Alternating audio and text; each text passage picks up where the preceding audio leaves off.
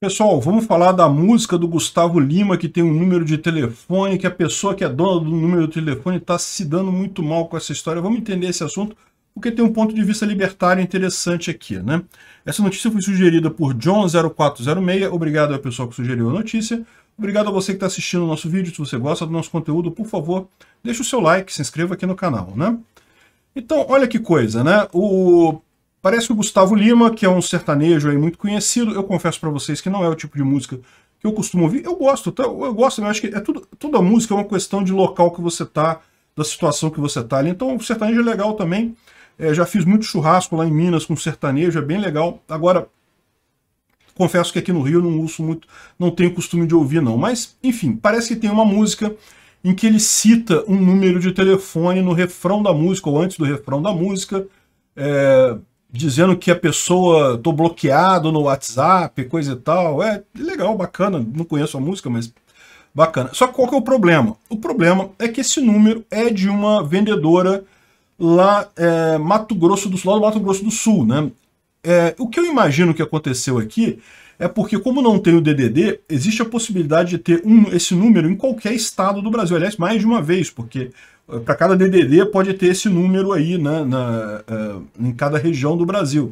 E talvez ele tenha até se preocupado em pedir um telefone com esse número e pegar o chip com esse número, mas ele teria que pegar esse chip com esse número em cada DDD aqui do, do Brasil, porque sempre tem a chance de ter um lugar que aquele número vai pertencer a outra pessoa. E foi o que aconteceu. O número é de uma vendedora chamada Alessandra, e segundo ela, isso gerou um monte de problemas para ela, porque como eu disse, ela é vendedora, ela trabalha com o celular, o celular é uma ferramenta de trabalho para ela, ela usa para atender clientes e coisa e tal, e com isso ela está entrando com uma ação contra o cara, é, exigindo uma indenização, né?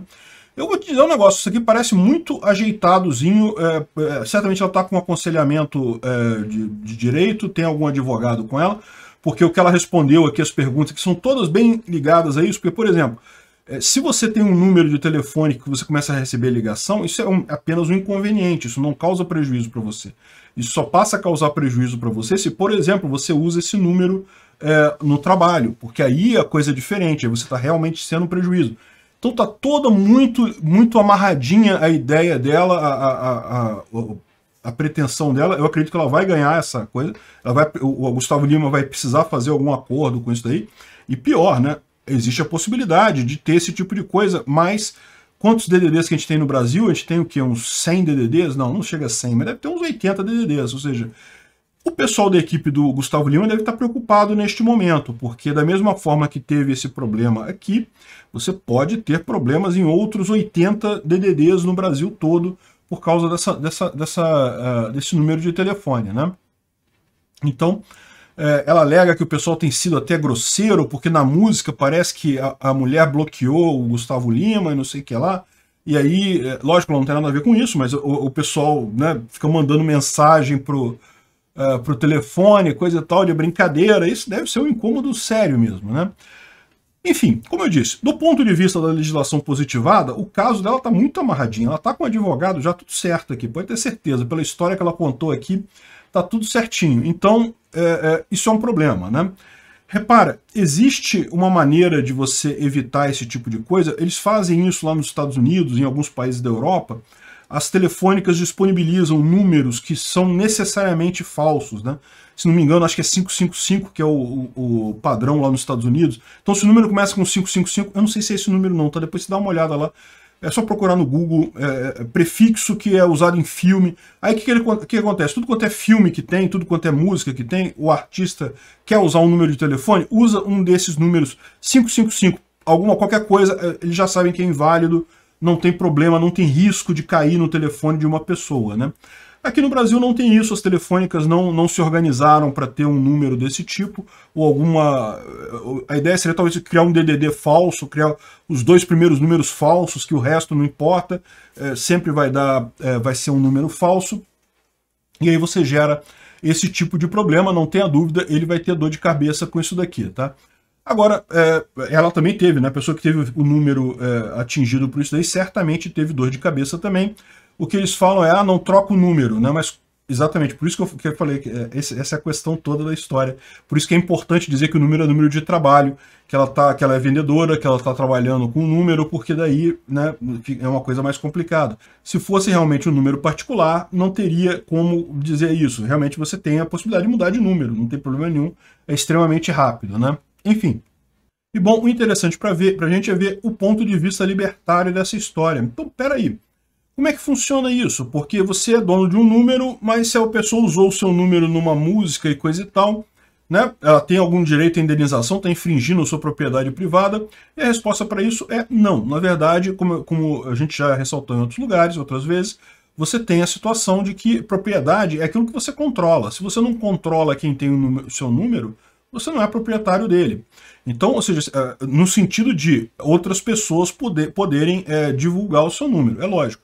Você é proprietário do seu número naquilo que tange a você atender a ligação para aquele número. Se alguém ligar para aquele número, é você que vai atender, você controla aquilo. Então, de certa forma, é um tipo de propriedade, muito embora né, tipicamente é um contrato com uma operadora, é um serviço prestado, não necessariamente uma propriedade jus natural. Né? De qualquer forma, em qualquer das situações, divulgar esse seu número é legítimo sim, isso não fere a propriedade privada. Isso quer dizer que essa situação no Ancapistão ficaria sem solução, a pessoa que teve um número dela divulgado numa música, e aí um monte de gente saiu ligando para ela, ela teve prejuízo e coisa e tal.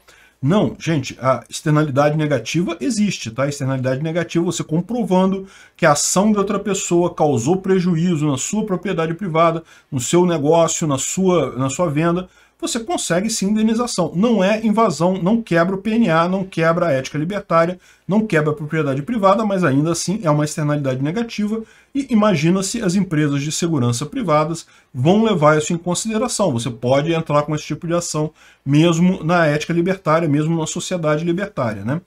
Para isso, qual é a ideia? Que você vai ter justamente a sua empresa de proteção, empresa de segurança privada, que vai fazer esse meio campo para você. Você vai entrar com um pedido neles, uma ação Tal como você entrou aqui contra, no governo, né, na justiça estatal, você entra é, na justiça das suas é, é, empresas de segurança privada e eles vão dar um jeito de resolver isso. Ah, mas se outra pessoa for de outra empresa ou não tiver empresa nenhuma, isso é problema da, da empresa de segurança privada sua. Ela pode achar até que é melhor, eu, vou, eu mesmo vou bancar esse custo, vou pagar para você a indenização e vou deixar quieto. É uma possibilidade. Ou ela pode pagar para você e correr atrás de receber da outra pessoa é como um seguro, né? como eles fazem em, em seguradoras. Então, é isso aí. Não seria muito diferente numa sociedade libertária do que está acontecendo aqui no Brasil. Obrigado por assistir o vídeo até o final. Além de curtir, compartilhar e se inscrever no canal, considere se tornar patrocinador com valores a partir de R$ 1,99 clique no botão Seja Membro abaixo para saber as condições e vantagens de patrocinar o canal. Mais informações sobre o nosso projeto, visite nossos sites indicados na tela.